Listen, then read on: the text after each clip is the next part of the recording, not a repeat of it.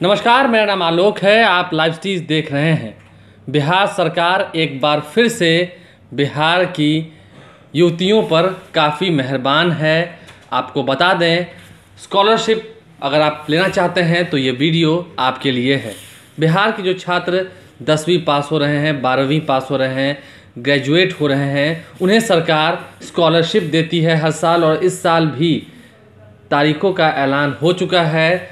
Forms online आप apply कर सकते हैं, इसके लिए क्या करना होगा, इस रिपोर्ट में आप देखिए। आपको हम बता दें, मुख्यमंत्री कन्या उत्थान प्रोत्साहन योजना की शुरुआत हो चुकी है। 18 सितंबर 2020 से ही शुरुआत हो चुकी है और इसके लिए अगर आप, आपको ऑनलाइन आवेदन करना है तो आप www.edudbt.bih.nic.in पर जाकर अप्लाई कर सकते हैं। जैसा कि हम तस्वीरों के माध्यम से आपको दिखा रहे हैं। edudbt.bih.nic.in पर जाकर आप अप्लाई कर सकते हैं। मुख्यमंत्री कन्या उत्थान योजना के लिए क्या क्या क्वालिफिकेशन चाहिए, आप वो भी तस्वीरों के माध्यम से देख सकते होंगे। लाभार्थी बिहार का निवासी होना चाहिए, शर्त यह है, लाभार्थी के पास आधार कार्ड होना चाहिए।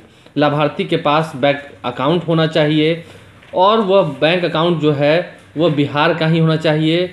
जो छात्र छात्राएँ इसमें अप्लाई कर रही हैं, वो बिहार के ही रहने वाले होने चाहिए और बिहार में ही वो अपनी पढ़ाई पूरी कर रहे हों। इंटरमीडिएट के लिए भी वो अप्लाई कर सकते हैं। और जो डॉक्यूमेंट्स इसके लिए चाहिए, वह आधार नंबर है, मोबाइल नंबर है और प्रोत्साहन भत्ता जो है वो विभिन्न प्रकार का है।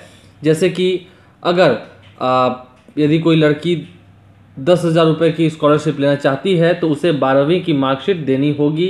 यदि कोई लड़की पच्चीस हज़ार रुपये की स्कॉलरशिप लेना चाहती है तो उसे ग्रेजुएशन की मार्कशीट देनी ही होगी। तो कहीं ना कहीं बिहार सरकार जो अपनी योजनाएँ लेकर आ रही हैं, इस बार फिर स्कॉलरशिप का भरमार जो है, वो लग चुका है। और ऐसे में प्रोत्साहन योजना 2020 के लिए आप आवेदन कर सकते हैं। ऑनलाइन एप्लीकेशंस की शुरुआत हो चुकी है और बिहार के युवा, बिहार की युवतियाँ जो दसवीं पास हैं, बारहवीं पास हैं, जो ग्रेजुएट हो चुकी हैं और मध्यम परिवार से आती हैं, उन्हें सरकार हर साल सहायता करती है प्रोत्साहन योजना के तहत और हमारे इस रिपोर्ट के माध्यम से आपने जो देखा है, तस्वीरों के माध्यम से भी आपको बताया है किस वेबसाइट पर जाकर आप कैसे आवेदन कर सकते हैं क्या क्या कागजात चाहिए और बैंक अकाउंट की डिटेल्स भी आपको वहाँ जमा करने होंगे, मोबाइल नंबर भी देने होंगे।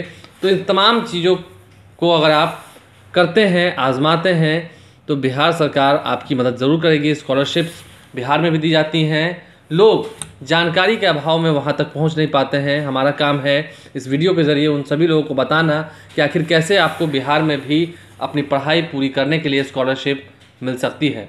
हमारे चैनल को सब्सक्राइब कर लें साथ साथ फेसबुक पेज भी लाइक करें। इसके अलावा ट्विटर हैंडल पर लाइव स्ट्रीज को फॉलो करें। धन्यवाद।